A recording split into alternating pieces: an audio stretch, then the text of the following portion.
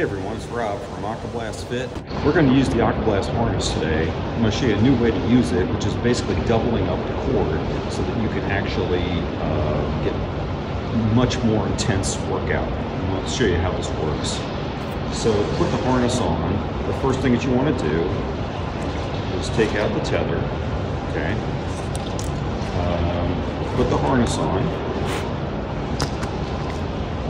And again, put the harness on, find a little D-clip in the front, slip it over your shoulders, so this little diamond piece is over your back, like that.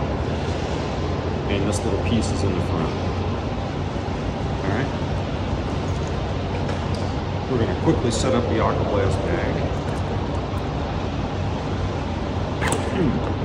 Just unzip it, submerge the bag, fill it up with water. Nice long strokes, just drag it through the water. And then dunk it a few times. Now when you're using it with the harness, you want to put a little bit of air in there. So what we're going to do is take a little bit of the water out, just squeeze the side of the bag, and the water levels to about right here. So so I got that much air to work with, plus the buoyant piece that's inside. Okay, just gonna close this off. There's another fast way to blow up the bag. you can keep this open just a tad bit. And just blow air on or you can use the air valve. So there's a couple ways to do this. Now, the neat thing about the Aquablast harness is that you can use it in two lengths.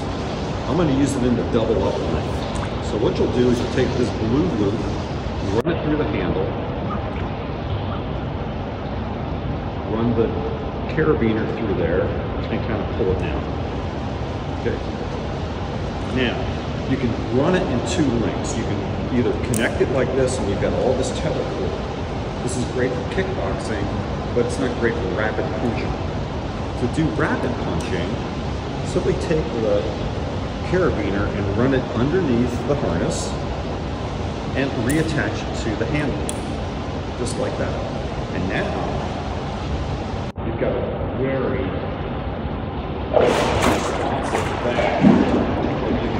pushing.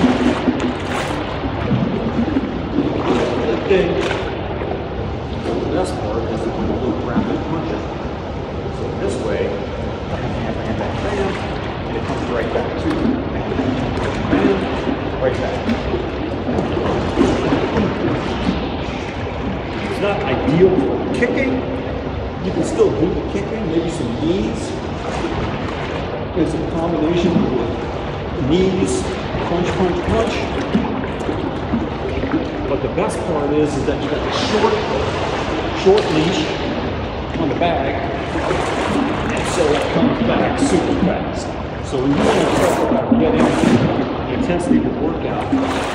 This is 45 pounds of water, maybe 40 pounds with the air I put inside. And he's throwing 40 pounds and it's coming right back to you. Plus you've got double the tension on the push. So it's going to spring back much faster. Just do a couple of these just to get warmed up.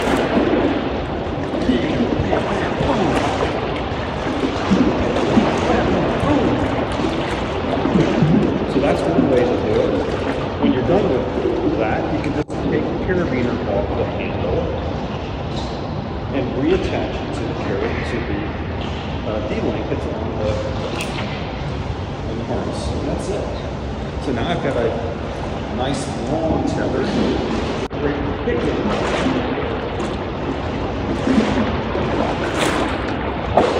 You can on that tether, kind of give yourself a little bit exercise. So, nice long.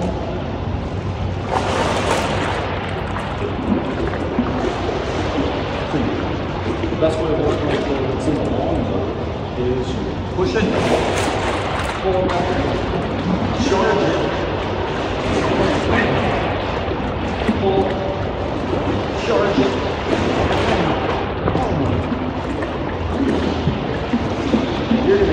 So